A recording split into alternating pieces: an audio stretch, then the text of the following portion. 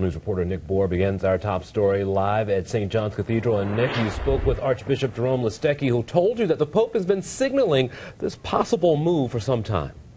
Right, Archbishop uh, Listecki says that the Pope always said that he'd step down if he couldn't fulfill the demands of the job, and he says that time has apparently come. Of course, Listecki became the Archbishop of Milwaukee here at the cathedral in a ceremony three years ago, and will always have a bond with Pope Benedict, who chose him to lead Milwaukee's Catholics.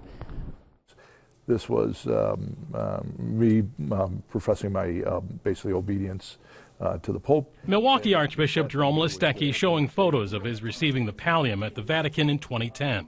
Just a year ago, he had a private audience with the Pope, something he recalls as a tremendous thrill.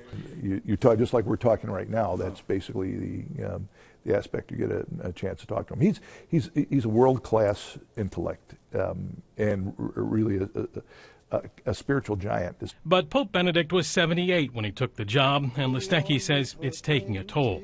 I'm the Archbishop of Milwaukee, and uh, I'm tired trying trying to meet you know the demands and needs of 209 parishes and the in the high schools and the various organizations. And I mean, my gosh, think you know I'm I'm way down on the pyramid. Think about the top of that pyramid and all the demands that are made for the, the Pope's attention. And now the attention will turn to who will emerge as the next leader of the church, already prompting speculation.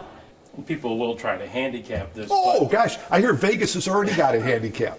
You know, I don't. I, what's Dolan going off at? I don't 25 know. Twenty-five to one. Twenty-five to one. Well, that's that's that's pretty good. That's that's pretty good odds. But seriously, Listecki says he has faith in the process. You kind of say it's not human. We we fail. We we mess up completely but the Holy Spirit doesn't. And so I, I know what will be the individuals, those cardinals go in, will be enlightened by the Holy Spirit to make a choice which bends to God's will. Now, the next pope, of course, will be challenged by the priest sex abuse scandal that continues to haunt the church, as well as the victims. We'll have Archbishop Listecki's take on how that has affected the current pope, as well as hopes for the future coming up tonight on 12 News at 6. Reporting live at the cathedral, Nick Bohr, WISN 12 News.